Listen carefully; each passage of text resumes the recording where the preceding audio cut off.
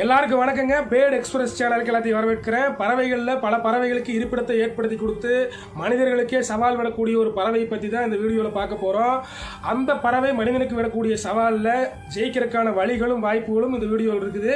தயவு செஞ்சு வீடியோவை முழுசாக பாருங்கள் இப்போ பறவைகளில் பல பறவைகளுக்கு இருப்பிடத்தை ஏற்படுத்தி கொடுக்கக்கூடிய பறவை எதுன்னு கேட்டிங்கன்னா மரம் கொத்தி பறவை. மரம் கொத்தி பறவை தன்னுடைய பசிக்காக மரங்களில் துளையிட்டு அந்த மரங்களுக்குள்ள இருக்கக்கூடிய புழு பூச்சிகளை சாப்பிட்டு தன்னுடைய பசியை போக்கிக் கொண்டு தன் குஞ்சுகளுக்கும் எடுத்துகிட்டு போய் கொடுத்து தன் இனத்தை பெருக்கிக் கொண்டு வாழக்கூடிய பறவை. இப்போ அந்த பறவை புழு பூச்சிகள் எடுத்துட்டு போனதுக்கு அப்புறம் பார்த்தீங்கன்னா அங்கே பெரிய பொந்து உருவாகுது. அந்த பொந்துக்குள்ள மைனா கிளிகள் இது போன்ற பறவைகள் வந்து முட்டையிட்டு குஞ்சு பொரித்து தன்னுடைய இனத்தை பெருக்கி கொண்டு காலம் காலமாக வாழ்ந்து வருகிறது. இப்போ மரங்களை துளைகிறதுனால மரத்துக்கு ஏதாவது பாதிப்பான்னு கேட்டிங்கன்னா கண்டிப்பாக கிடையாதுங்க. மரத்துக்கு நன்மை தான் எப்படின்னா மரங்களில் புழுப்பூச்சி அதிகமாச்சுன்னா அந்த மரம் சீக்கிரமாக கீழே விழுகிறதுக்கு வாய்ப்புகள் அதிகம். எப்படின்னா வெளியே மரம் போல் தெரியும். ஆனால் உள்ள வெறும் கூடு மட்டும்தான் இருக்கும். ஃபுல்லாக கூடு மாதிரி இருந்ததுன்னா மரம் சீக்கிரமாக கீழே விழுந்துடும் இப்படி பல மரங்கள் கீழே விழுந்தால் மேகம் குளிர்வது கொஞ்சம் தடைப்படும் அப்படி தடைப்பட்டுச்சுன்னா மழை வருவதும் கொஞ்சம் குறையும். விவசாயம் பாதிக்கும். அணைகள் நிரம்புவதில் கொஞ்சம் சிக்கல் ஏற்படும். கொஞ்சம் கம்மியான அளவில் தான் அணைகளில் தண்ணி இருக்கும்.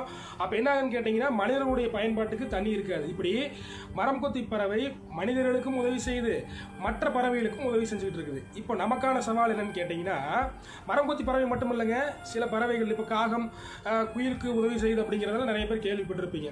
இப்போ அந்த பறவை விடக்கூடிய சவால் என்ன? இப்போ மனிதர்கள் இன்னொரு மனிதனுக்கு உதவி செய்யணும் வீடு இலவசமாக கட்டித்தரணும் அப்படின்றது இல்லை. ஏன்னு கேட்டிங்கன்னா எல்லாருக்கும் ஆறு அறிவு மனிதர்களுக்கு. என்னென்ன தேவைகளோ அந்த மனிதர்களே பூர்த்தி செஞ்சுக்க முடியும். ஆனால் பறவைகளால் முடியாது. அதுக்கு தான் நம்ம மனிதர்களுக்கே உதவி செய்யணும் அப்படின்ட்டு இல்லை. மாறாக பறவைகளுக்கு உதவி செய்ய கடமைப்பட்டிருக்கிறோம். எப்படின்னு கேளுங்க. முக்கியமான விஷயம் உலக மக்கள் தொகையில் இந்தியாவில் கிட்டத்தட்ட இருபது சதவீத மக்கள் இருக்கிறாங்க. சுமாராக சொல்கிறேன் அக்யூரேட்டாக சொல்லுங்க. சுமார் இருபது சதவீத மக்கள் தொகையை கொண்டது இந்தியா. ஆனால் உலகத்தில் நாடுகள் பார்த்தீங்கன்னா இருநூறு நாடுகளுக்கும் மேலே இருக்குது. அப்போ இந்தியாவில் எவ்வளோ மக்கள் தொகைன்னு பார்த்துக்குங்க ஒரு நாட்டில் இவ்வளோ இருந்தால் அதுக்காக இருக்கக்கூடாதுன்னு சொன்னால் ஃபஸ்ட்டு நான் தான் வெளியே போகணும். எல்லாரும் வாழ்ந்து ஆகணும். எல்லாருக்கும் உணர்வுகள் இருக்குது. அதனால் எல்லாருக்கும் வீடு தேவை இருக்குது. அந்த வீடு தேவைக்காக விவசாய நிலங்கள் அழிக்கப்படுது. மரம் செடி கொடிகள் எவ்வளவோ அழிக்கப்படுது. அதனால் பறவைகள் கூடுகள் இல்லை. நம்ம ஏற்படுத்தி தரணும்னு சொல்லியாச்சு. அதற்கான வழிகளை தான் இதில் பார்க்க போகிறோம் எப்படின்னு கேட்டிங்கன்னா இப்போ மரக்கூடுகளை நீங்கள் வீடுகளில் கட்டி தொங்க விடலாம்.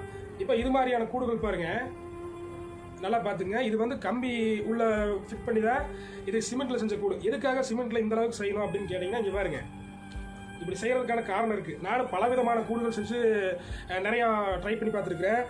எல்லாத்துலேயும் ஜெயிச்சிருக்கிறேன். ஆனால் அந்த மரக்கூடுகள் செஞ்சு வெளியில் மழை தண்ணி படுற இடத்துல வச்சோம்னா அந்த மழை தண்ணி பட்டு பட்டு அந்த மரக்கூடுகள் டேமேஜ் ஆகுது. ஆனால் இது மாதிரியான கூடுகள் பார்த்தீங்கன்னா டேமேஜ் ஆகிறதுக்கு வாய்ப்பு இல்லை.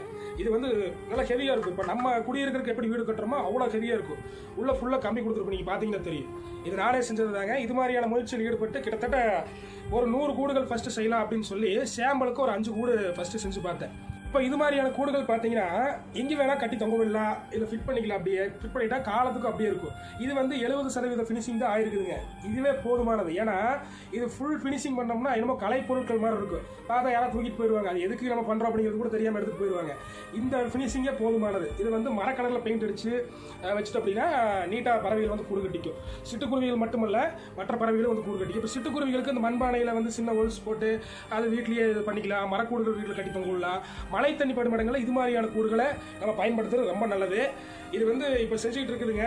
இப்போ நிறைய பொருட்கள் வாங்கி வச்சிருக்கிறேன். இப்போ பார்த்தீங்கன்னா கொரோனா டைம் அப்படின்றதுனால தடைப்பட்டிருக்குது. தடைப்பட்டு இருக்குது இப்போ உங்களுக்கு தேவை இருந்தால் சொல்லுங்கள் இதை வாங்கி எங்கே வேணால் ஃபிட் பண்ணலாம். அப்புறம் வீடுகள் கட்டுறோம் பார்த்தீங்கன்னா வீடுகள் கட்டுறது எப்படின்னா நமக்கான தேவைக்காக மட்டுமே தான் கட்டுறோம்.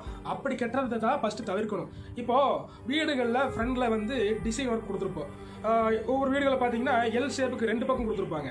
இப்போ நான் என்ன சொல்ல வரேன்னா அந்த ரெண்டு பக்கம் நீங்கள் எலிவேஷன் ஃபுல்லாக கொடுத்துக்குங்க. எவ்வளோ டிசைன் வேணால் கொடுத்துக்குங்க. ஆனால் மீதி ரெண்டு பக்கம் இருக்கு பார்த்தீங்களா அதில் கை கைப்பிடி சுவர்னு சொல்லுவோம்ல அந்த சுவரில் ஒரு பக்கத்துக்கு ரெண்டு ஹோல்ஸ் விடுங்க. அந்த ரெண்டு ஹோல்ஸ் எதுக்கு அப்படின்னு கேட்டிங்கன்னா எந்த பறவைகள் வேண்டுமானாலும் அதில் வந்து கூடு கட்டிக்கும். அந்த பறவைகள் கூடு கட்டுச்சுன்னா எச்சம் வந்து செவுத்தில் படும் அந்த பறவையோட எச்சம் செவுரு வந்து இதாகும் அப்படின்னு சொல்லி நினைக்கிறவங்க அந்த பறவையோட எச்சம் தாங்கி பிடித்து கொள்ளுமாறு முன்னாடி லைட்டை இழுத்து வச்சிருங்க. அதெல்லாம் செய்முறை இருக்குது. லைட் அந்த கூடர் ஹோல்ஸ் இருக்குது. அந்த ஹோல்ஸுக்கு முன்னாடி பார்த்தீங்கன்னா லைட் ஒரு பிவிசி பைப்பை ஒரு ஆஃப் ரவுண்டாக அறுத்து அப்படியே சொருகி விட்டீங்கன்னா பிவிசி பைப் செவுத்துலேருந்து ஒரு நாலு இன்ச்சு வெளியே தள்ளிட்டு இருக்கும். ஒரு ஆஃப் ரவுண்ட் பிவிசி அப்போ அந்த பறவைகள் எச்சமிட்டா கூட செவுத்துல படுறதுக்கு வாய்ப்புகள் குறைவு. இப்படி நமக்காக நமக்காக மட்டும் பார்த்து பார்த்து வீடு கட்டாமல் மற்ற பறவைகளுக்கும் நம்ம குடும்பத்தில் இருக்கிற நாலு பேருக்கு மட்டும் அப்படி வீடு கட்டாமல் மற்ற பறவை குடும்பத்துக்கும் சேர்த்து கட்டணும் அப்படின்னா பல பறவை குடும்பங்கள் வந்து முட்டையிட்டு குஞ்சு பொறுத்து தன்னோட இனத்தை பெருக்கிக் கொண்டே இருக்கும் வருஷத்துக்கு சில தடவைகள் வந்து வந்து வந்து வந்து. அப்போ எவ்வளோ பெரிய புண்ணியம் பாருங்க. மரம் கொத்தி பறவை விடக்கூடிய சவாலில் ஜெயிக்கிறதுக்கான வழிகள் இதுதான். இன்னும் ஏதாவது டவுட் இருந்ததுன்னா கமெண்ட்ல கேளுங்க. கண்டிப்பாக அத்தனை பேருடைய டவுட்டுக்கு படிப்படியாக வீடியோ போட்டுக்கிட்டே இருப்பேன். அப்புறம் இன்னொன்றுங்க இந்த சேனலை மறக்காம சப்ஸ்கிரைப் பண்ணுங்க பெல் ஐக்கானை கிளிக் பண்ணுங்க முக்கியமாக ஷேர் பண்ணுங்க. எவ்வளவு நேரம் பேசினாலும் வீடியோ பாருங்க தயவு செஞ்சு. எதுக்காக சொல்றேன்னா மனிதர்களுக்காக மனிதர்களே வீடியோ போட்டுக்கிட்டு எவ்வளவோ பார்த்தாச்சு.